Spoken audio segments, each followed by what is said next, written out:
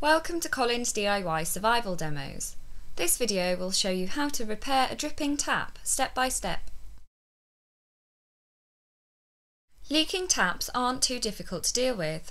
When water drips from the spout, it usually points to a faulty washer. What you will need a replacement washer, knife or small screwdriver, adjustable spanner, screwdriver, pair of pliers. First turn off the water supply for the tap. This will probably be under your kitchen sink, but if you're working on the hot tap, you may need to find the hot water tank and turn off the supply there. Put the plug in the hole so you don't lose anything down the plug hole. Gently remove the cap of the tap, this is the disc that has hot or cold on it, using your fingers, the point of a knife or a small screwdriver. You should now see the screw of the handle. Unscrew this and remove the handle to expose the headgear nut.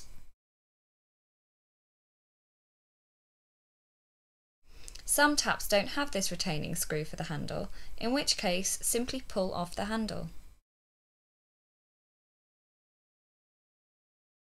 Remove the headgear from the tap body by turning it anti-clockwise with a spanner.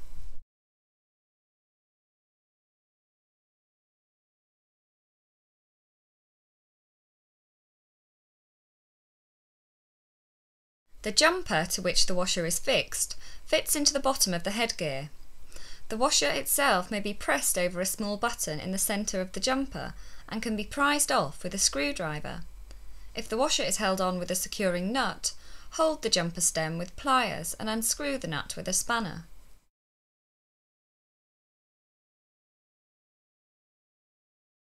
Fit a new washer and replace the retaining nut.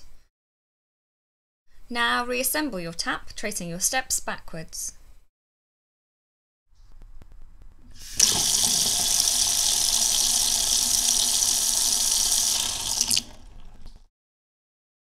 We hope you found this demo useful. To watch more Collins DIY survival demos, visit www.collins.co.uk forward slash DIY.